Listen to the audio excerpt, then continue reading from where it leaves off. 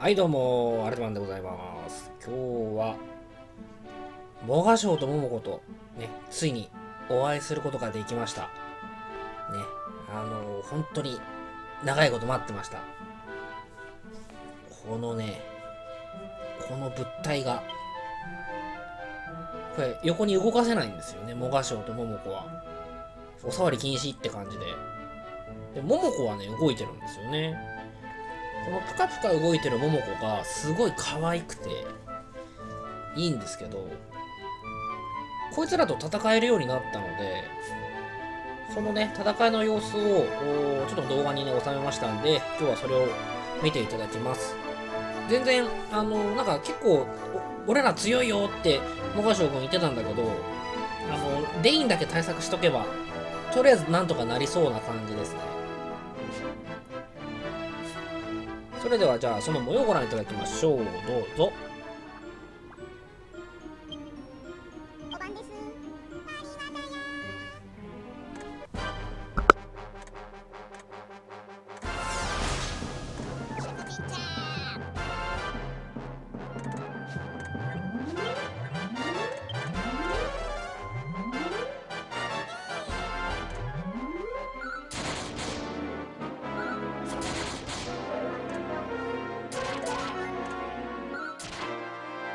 you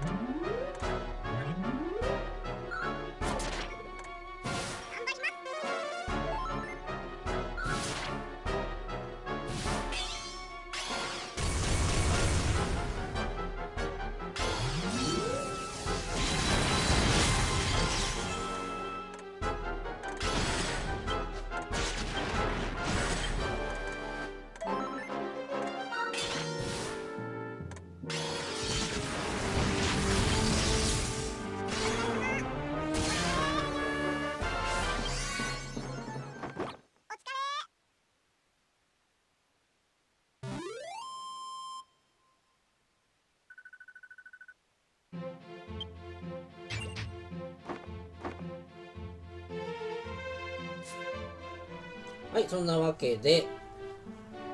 まあ、レベル30とかの宇宙海賊でもね、全然余裕だったんで、まあ、積極的にあのチャレンジしていただければなと思います。この転生、他のね、転生してる人がいれば、全然倒せるだろうし、本当に必要最低限の無突のね、えーまあ、プラス25装備とかも全然余裕なんで、月のアタックだっけ？月のアタックはあれは硫黄系の攻撃なのかな？でも硫黄硫黄系の攻撃だったですけど、でも、ね、無対策でもあの程度のダメージだったので、なんか全然回復が追いつくし、まあ要所で防御しとけば、ね、余裕なのかなって感じがします。全然、モガショウとモモコよりもね、あの、まあ、シンドスラーデスの方が全然強いっていう、まあ当たり前ですけど、ね、そんな感じでした。で今週は、えー、まあちょっと特にこう差し当たっていい、えー、ね、トピックがないので、終わりにするんですけれども、えー、まあね、こちらの新しいイベントがね、始まってますね。狭間の闇の王を倒せっていうのがあって、これもなんかレアドロで、こう、アクセ強いね、アクセが落ちるみたいなので、まあ、周回をね、していかないといけないかなと思います。で、えー申し訳ないんですが、星騎士で遊ばせていただきます。これで入りますので、えー蹴らないでください。ね、遊びますので。ということで、ご視聴いただきましてありがとうございました。チャンネル登録よろしくお願いします。それではまた。